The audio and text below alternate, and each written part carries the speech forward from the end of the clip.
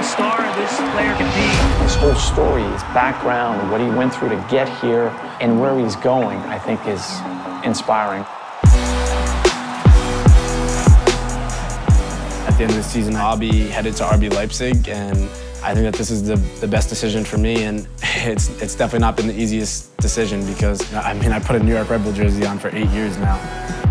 You know, you look at it from where I am right now in, in such a good situation, but I know that in the next part of my development, this is the best step that I could have possibly taken. I think what I'm most excited about is that I'll stay within the, the Red Bull family. There's been so many good moments. You know, goodbyes are never easy, but it'll be a new opportunity, new doors for me, you know, to open and, and hopefully achieve some, some big goals.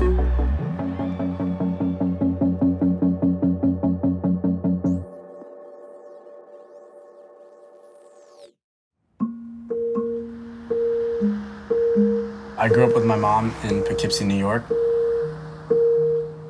know, the relationship that I have with my mom is definitely very special. I guess you could say I'm kind of a mama's boy.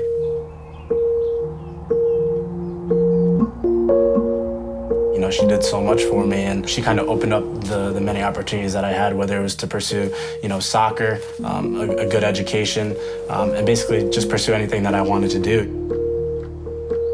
Tyler, from the day he was born, was just loving life. Wanted to be in the middle of all the action, highly competitive, highly energetic, would not take a backseat to anyone or anything. And that's how I had to live my life because he was not taking no for an answer.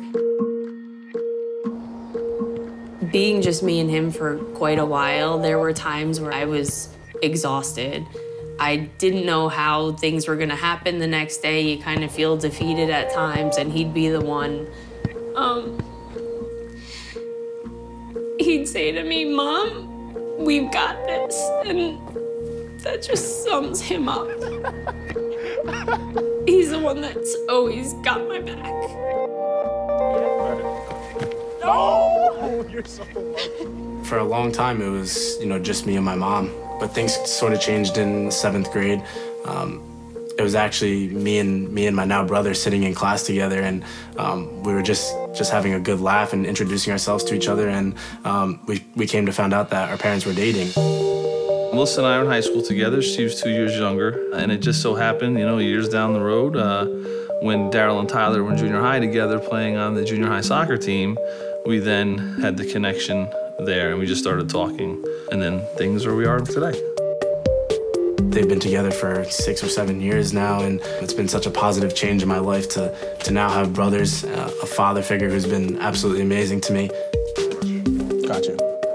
Yeah, started off very close friends, and then when our parents started dating, we became even closer. And not only did we gain Tyler out of this, we got his mother, who's also been a huge part in our lives as well. I don't know what life would be like without them now. It's pretty cool. I asked him, I was like, dude, why did you start sprinting? He was like, I heard a noise, but I'm slower than you, so I gotta get a head start. the kids get along fantastic. Tyler and Daryl get along like father and son from day one, and just their talk of soccer is nonstop. It's uh, unbelievable amount of pride seeing what he's turned into. For me, I have two families, you know, my home life and then a, a family uh, away from home at the New York Red Bulls. And it's funny because, you know, you look at it and I've spent just as much time with them as, as I have at home. So, you know, the bonds that I've created with them are, are quite unique. Soccer for me kind of took a, a turn when I got invited to go to an RDS camp, which was one of those regional development schools. The first RDS camp that he did, he loved it. He came home saying, Mom, like, this is what I want to do. That was around the same time that Daryl and I were dating. I said to Daryl, I'm like, how do we do this? Like, how do I get him to and from Rutgers, Newark every night and still function and live a normal life?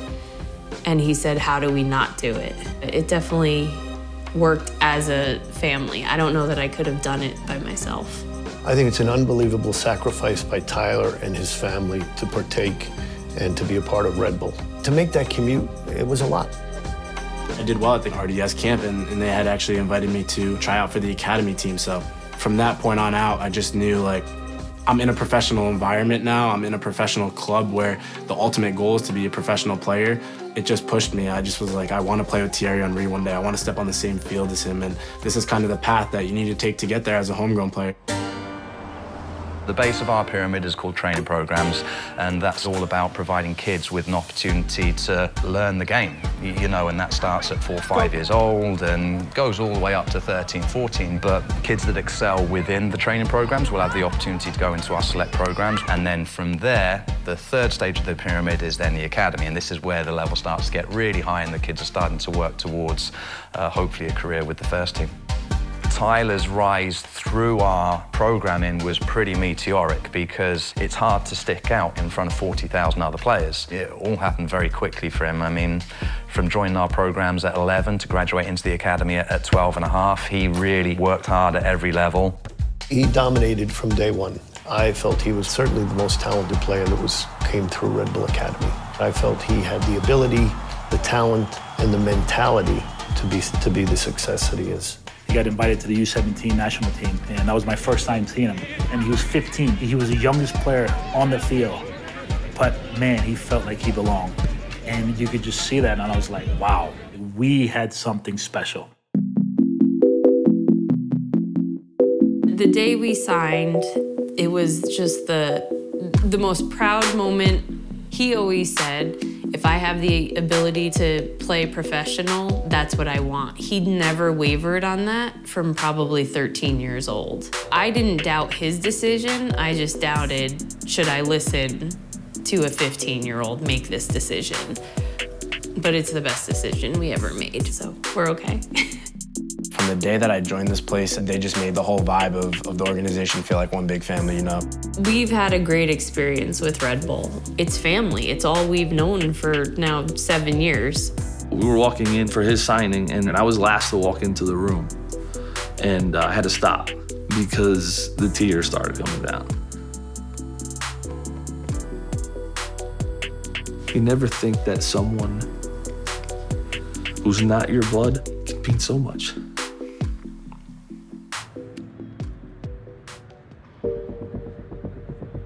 Before Tyler, we'd never had a kid that had come in at the bottom level of our pyramid and worked his way up. The kids now have someone to look at and say, that was someone who was in the same shoes as me five or six years ago. If you dedicate yourself, if you apply yourself properly, it really is possible to achieve, you know, all of these, all of these dreams. I think that says a lot about Tyler that not only did he embrace every level of that platform, but you know, really accelerated through all three levels as quickly as he did. And, you know, we're proud to see where he's gone. You know, the emotional roller coaster of going through watching him play a game is unreal because I know how much he takes pride in how he plays and the homework he does off the field to get himself to be better. And you want your kid to be successful. He can come off the field, look himself in the mirror, and say, you know what, I gave everything I had. And that's all we expect from them.